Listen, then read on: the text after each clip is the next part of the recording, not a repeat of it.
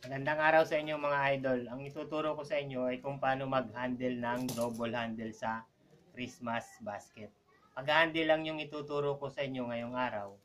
So, ito na siya. Nilagyan ko na siya ng isang handle. Ang ilalagay na lang natin is isa pa. Panoorin nyo ako guys. Dalawa yung handle niya. Ang tawag dito guys is round core. So, tutusok lang natin dito sa kabila. Tapos dito.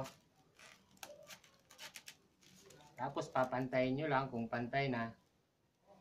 Karamihan ginagamit ko guys sa mga Christmas basket. Lagyan na natin ng pulupot.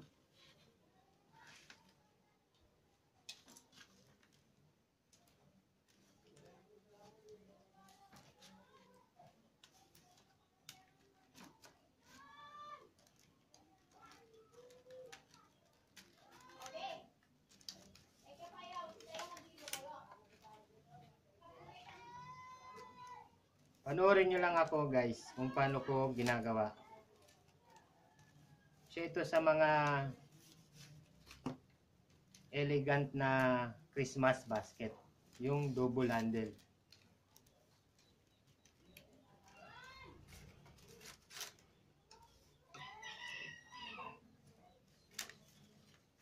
Ganito lang yung paggawa ng double handle sa Christmas basket. Pwede rin i-apply sa iba kahit hindi siya Christmas basket. Pero kalimitan sa Christmas basket ginagamit.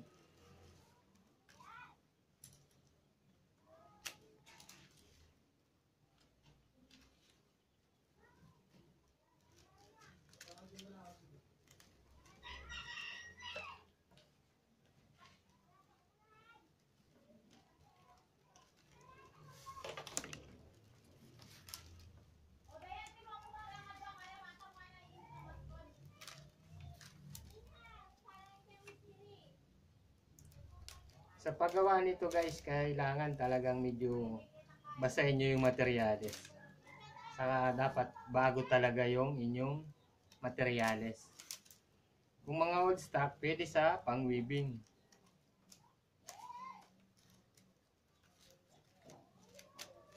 Tinuturo ko sa inyo guys kasi nga kung gusto nyong mag-aral, mabilis nyo na lang makukuha. Sa loob ng isang buwan, siguro marunong na kayo.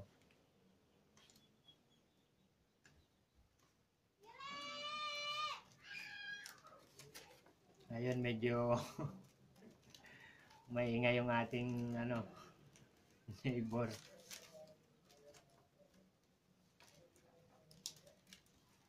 Ganito lang siya pareho yung pupuluputan yung handle. Pag nakita nyo guys yung tapos nito, napaka, para sa akin napakaganda.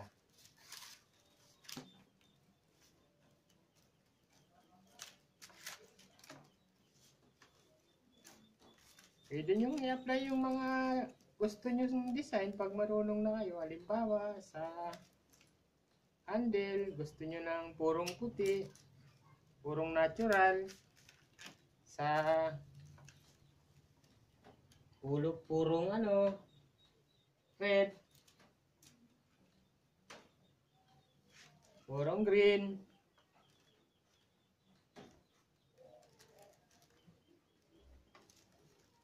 Nasa inyo kasi kayo naman yung gumagawa. Ay kung marunong na kayo pwede na kayong mag gawa ng halimbawa, may magpagawa sa inyo, may mag-order. Karamihan kasi nito ginagamit sa New Year talaga. Lagayan nila ng mga prutas.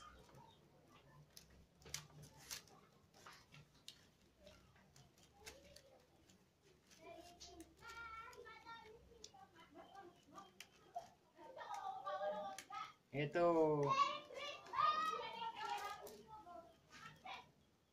ito talagang ano na siya.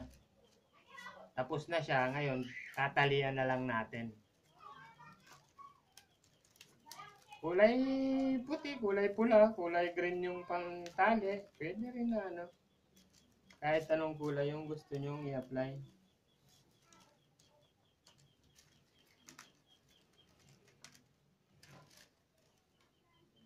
Tutusok nyo lang, tapos ilalak nyo lang ng paano yung tali niya.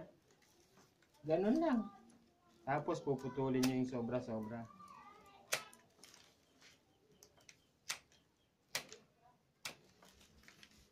Sinsya na kayo guys, medyo maingay yung pesto ko ngayon.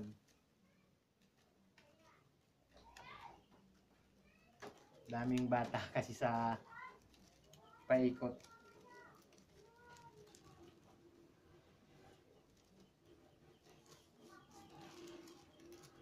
Nyo lang gano'n, tapos oh, pagtali, gano'n na. Kung medyo may malutong, papalitan nyo.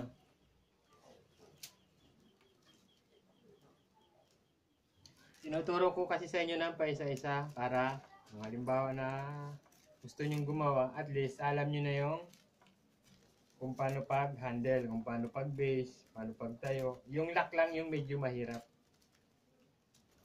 Pero yung pag-base saka pagtayo, hindi na masyadong mahirap yun. Ang unahing gamit dito guys is cutter, materials, metro, saka paminsan-minsan gumagamit ng ice pick. Tulad sa pag-handle, pag masikip yung tusukan mo dito, kailangan mong gumamit ng ice pick.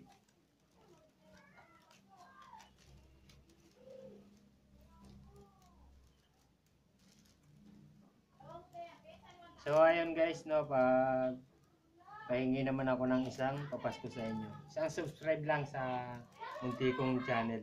Pakipindot na rin ng notification bell para updated kayo sa aking mga video. Paki-like na rin ng isa at saka paki-share na rin ng isa.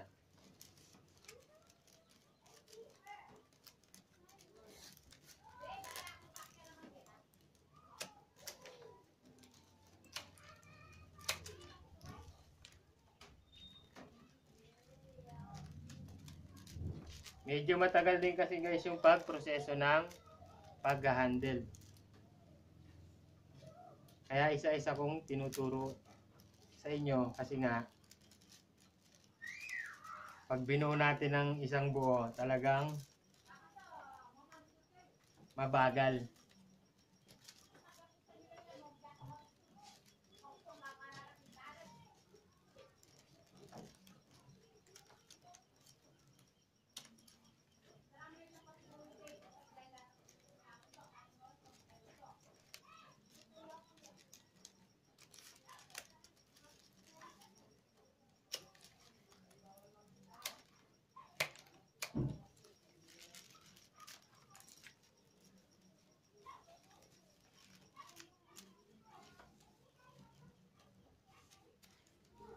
So ito na siya guys.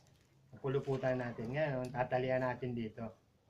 Para medyo maganda yung ating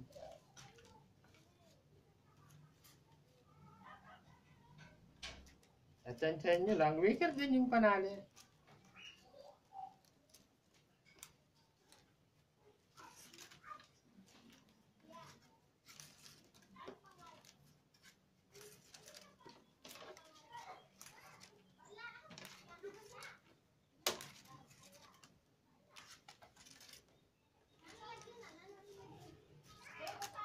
Medyo mabagal lang guys yung talagang paggawa ng ganito sa una. Pero pag sanay ka na, parang mamali-malihin mo na lang.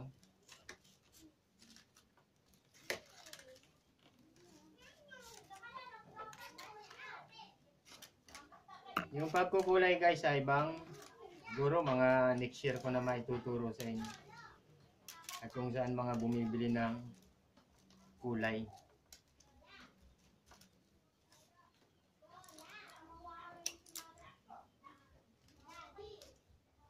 May apply nyo to guys sa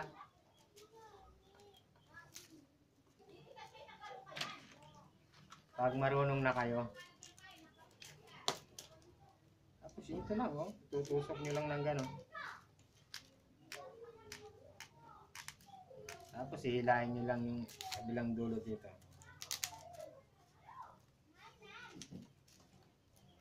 Oh, ayan. Meron na tayong Christmas double handle. Ito na siya guys, oh. O, di ba? Ang ganda-ganda. Medyo maganda siyang tingnan. Kisa sa single handle. Actually guys, meron na akong nagawa na. Tatlo na to eh. Eto na siya oh. Eto na sila. Ayan. Ito, white yung kulay. Ito naman, red. Depende sa inyo kung ano yung gusto nyong kulay. O, ito na siya. Maganda na siyang tingnan, di ba? Ang ganda ng lagay ng prutas na. So, ayun mga idol, dito po natin natapos ang ating video. Paki-subscribe naman po ng isa sa aking munting channel, saka paki-like na rin, paki-share na rin. Thank you for watching mga idol at maraming salamat. Happy New Year po at Merry Christmas. God bless all.